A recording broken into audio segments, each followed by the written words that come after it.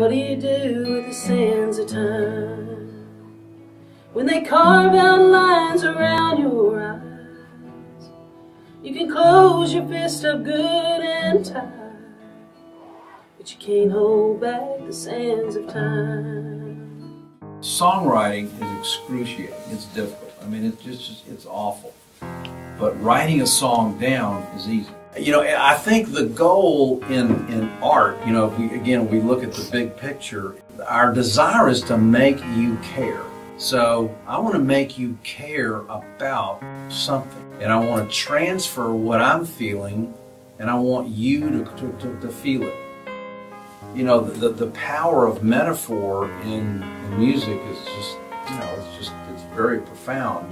Because um, I think what happens with metaphor is that somehow or another, that's where the traction becomes. That's where the audience becomes engaged at the metaphor.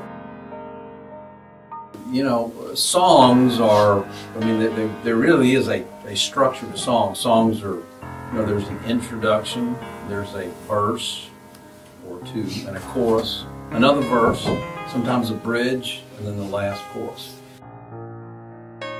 The verses generally, you know, have the detail. The verses are usually the what in the song. You know, they, they, say that the more specific and the more detail, the more adjectives and adverbs that you have in your verses, uh, the more universal it becomes.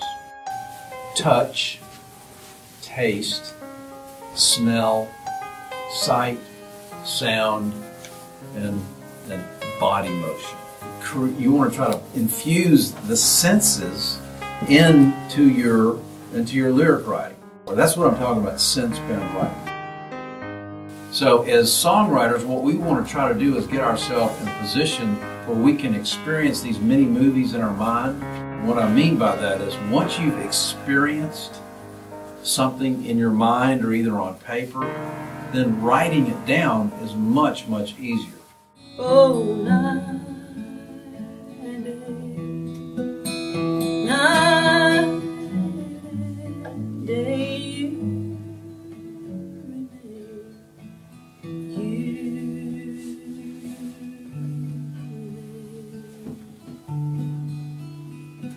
What do you do with the sands of time?